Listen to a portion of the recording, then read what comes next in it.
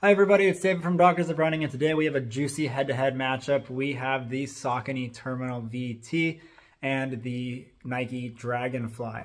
This is going to be a spike head-to-head, -head, so this is obviously a very niche comparison and review, but for those that are looking at track spikes, we have gotten these questions a lot, especially with this being a new super spike on the market. So this is some of the comparisons that we have. And so taking a look at some similarities, they're both distance track spikes. They both use a Pebax spike plate. They both use new generation midsole. So for the Dragonfly, there's no secret. We're using the ZoomX midsole that we've seen in the Vaporfly. And in the Terminal VT, we are using the PWRRUN HG seen in the Saucony Endorphin Elite. So not the PWRRUN PB that we've seen in the Endorphin Pro 3 or the other series, Endorphin Speed, things like that. This is the other midsole that is in the Saucony Endorphin Elite. So both super spikes, both distance spikes. One little difference here, just looking at basic design. One's a four spike plate, that's being the Terminal VT. One's a six spike plate in the Dragonfly. And I don't seem to notice too much of a difference there as far as on foot feel goes. The spike plate is full length in both of these. However, you can notice it's covered on the Dragonfly, but it's spooned out and it runs full length through the heel there. In the Terminal VT, very surface level, and it's actually split, and it runs along the medial and lateral aspect and basically makes a little horseshoe up at the top of the shoe. So you have that midline groove essentially coming down through here of all that PWRRUN HG. So going on to fit and the way these shoes fit on the foot, they're actually really similar and they both have really comfortable uppers for being spikes. They're probably two of the better fitting spikes I've ever worn, so that's a good thing.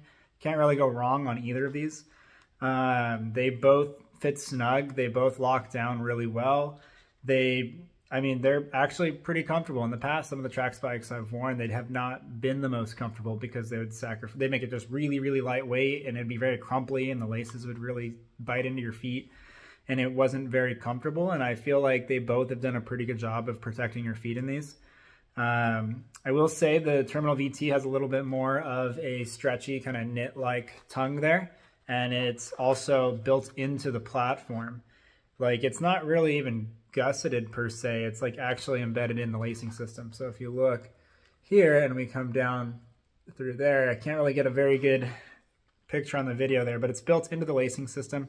Technically, I'd say it's gusseted, but it's kind of in with the reinforcement from the sidewalls there. So overall, it's embedded in the lacing system itself, and it's not like a separate entity. So it's all kind of a very sock-like fit around the foot. Um, I mean, it fits like a normal track spike, you know, relatively snug in the heel, midfoot, forefoot. It is decently roomy, I think, in the forefoot for a track spike. I think both of these models are. So as far as fit goes, they're actually pretty darn similar as far as on foot.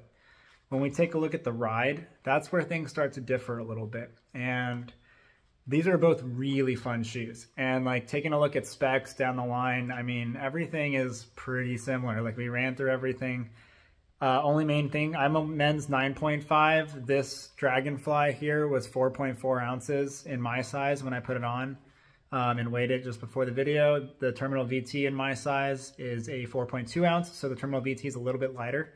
It does feel that way. I, it feels lighter than 0.2 ounces, and I know listed weight is like high threes, I believe. So, I mean, it seems consistent with what the spec sheets say, but on foot, this does feel more nimble. The Terminal VT feels lighter. It feels just a little bit of a quicker spike. Um, like if I was to look at 800 or 1500, like I probably would go Terminal VT. Like it's just a very fun lightweight spike. And the Dragonfly feels a little bit more distance specific. And they're both distance spikes, but the, the thing that I feel on the foot the most when I'm transitioning over the forefoot, this Terminal VT feels almost like a spike from the old days. Like it feels kind of like the original Nike Vaporfly, or it reminds me a lot of the Brooks Wire. Um, I mean, the back and the OG ones where you had dragons on the heel, if any of the viewers, if any of viewers remember that um, but kind of like that old school low stack type of feel to it. And I think a lot of that is also because you have this full length, just textured outsole plate embedded in the shoe. And um, you just feel very connected and you feel very grounded in this spike in the Terminal VT. The Dragonfly feels a little bit more Vaporfly if that makes sense. A lot of people have already run in this. It's a little bit more spongy. It definitely has a lot of responsiveness through the forefoot, and you can certainly run pretty much any distance you want in the Dragonfly. Um, I, that's the main difference I probably would say is that forefoot feeling from midfoot through the forefoot. It feels a little bit more spooned out in the Dragonfly and it feels like you have a little bit more of uh, cushion in the forefoot when you're landing. Whereas the Terminal VT feels a little bit more like that traditional spike, but there's still plenty of cushioning. It has the Power HG on there.